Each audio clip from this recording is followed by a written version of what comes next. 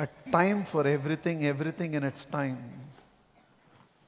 Discipline simply means a time for everything, everything in its time. Not that you don't have. Saravanan and Meenakshi, when they come, you know time. Sarigama Padani, when it comes, you know time. Arnab Goswami, what time you will come, you know the time. Everything has a time. Everything which is a time pass, you do it by time. And everything that is important, we don't have time for it. Have you exercised? You don't have time for it. To repair this heart, depending on where you go, cost a few lakh of rupees. To stolen kidney, chori ka mal, it's worth several lakhs. The Creator has given you this immaculate body and has only one request to you can you take care of it? You don't have time for that. You're so busy. Few minutes of silence every day. People don't have time to meditate. They're very busy. If I tell you I can get you an appointment with the President of India, will you say I don't have the time? If I tell you I will get you an appointment with A.R. Rahman and you can have a one to one sitting with him, will you say you don't have the time? Meditation is your appointment with God and you don't have time for God, is it? You all have become so busy that you don't have time to be with God. All your disappointments in life is because you no more have an appointment with God. We don't have time to pray, we don't have time to worship, we don't have time for silence. For everything that is not important, we have time slots. For everything that is important, we are saying we don't have the time. What is discipline? Discipline simply means I identify what is important for me in life.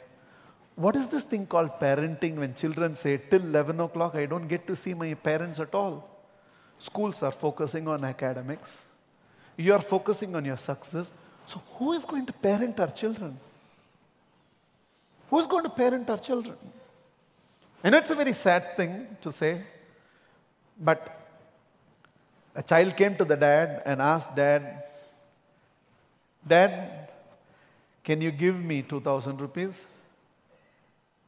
And he was busy with his laptop, so where's the time? So he just snatched a 2000 rupee note and gave it to him, gave it to the child, and said, It's okay, have it. From below the pillow, the child drew another 2000 rupee note. Now the child had 4000 rupees, and the child gave it back to the dad and said, Dad, I heard your consultation charges are 4000 rupees. Can you invest time with me, please? For a client who is willing to give you a 3000 rupee profit, you have the time. For a patient who will give you 500 rupees, you have the time. And our children, in spite of having parents, have become moral orphans because there's nobody to tell them what is right and what is wrong. We are not having meaningful communication with them anymore. And if, as family, we don't have time, and the only thing we call as family time is when all of us sit in front of television, that's called TV time, it's not called family time. Some of what I say won't even be pleasant, it will even make you guilty. But the purpose is not to make you guilty, but the purpose is to wake you up. You're a decision away from transformation. You just have to say, I don't care how I have lived up to now. From here, this is how I'm going to live. Quality time in relationship. Go to a restaurant, family of four is sitting, and all the four are looking at their mobile. Nobody is looking at each other's eyes. How will we build relationships? Suppose right now you're sitting here and you're checking your mobile when I'm speaking, transformation is not going to happen to you. And suddenly, when this child at 16 and either has, needs psychiatric help or has taken to drugs or won't listen to you anymore or practicing something which does not suit your family values, and you have no say because you were not there for your children when they needed you, so today they don't listen to you. There are two ways to get transformed in life. As a country, as a society, as an individual, there are two ways to get transformed in life. One, when life is still going comfortable, get transformed. There is no price to pay. Or life will transform you by giving you a slap. Life will change you. A social unrest will happen and a country will get transformed. A social revolt will happen and the country will get transformed. Today, when I'm telling you exercise and you're still breathing and vertical and you're okay, if you exercise, you take care of it. In the comfort of your life, you don't exercise and you ignore and push and ignore and push, ignore and push. One day you will sweat, one day there'll be slight pain, and you will go, doctor will do certain checkup and tell you embroidery has to be done. And after embroidery is done, from the next day, with sorbitrate in one hand and your heart in the other, you'll go for morning walk.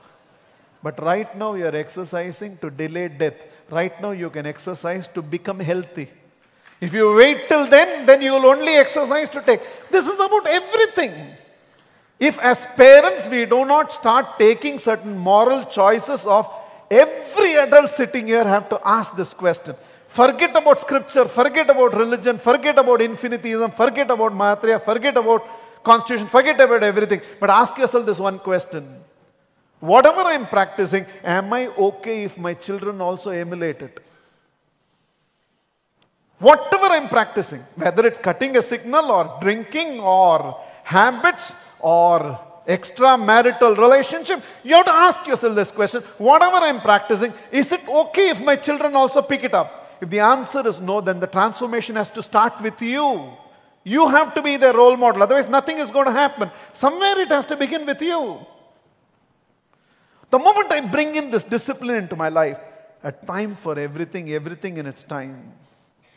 This is my time for health. This is my time for spirituality. This is my time for intellectual development.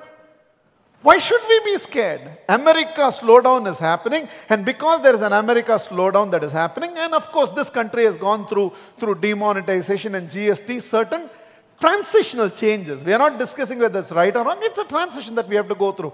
Every IT employee is nervous. Oh, these people have sent away 1,000 people. Those people are sending away 2,000 people. Why should you be nervous? There's only one reason any one of you professionally should be nervous you have not upgraded your competency. You have not been upskilling yourself. The demands of our role are growing faster than ourselves. Lot of you know or have the competence which you had five years ago, seven years ago. And because you still live with the competence you developed five years ago and seven, you are becoming irrelevant in the industry right now. If you'd continue to keep developing yourself, employment security may not be there, job security will be there. If it's not this organization, some other If you have the skills to deliver, enough people want you. Look around and ask enough people. How many of them are still looking for capable leaders? A lot of them are looking for. Am I skilled enough for that position is the question. So how am I upgrading myself? A time for everything, everything in its time. One hour every day for developing my skill sets half an hour every day for my spiritual practices, one hour every day to take care of my health. At least an hour of quality time with relationship that matters to be the most. And quality time is time when technology is not intervening to the time we have with each other. If technology is on, that is not called quality time, it's called technology time. And small, small initiatives here, a give up here and a go up there. You know, what a life all of us can live.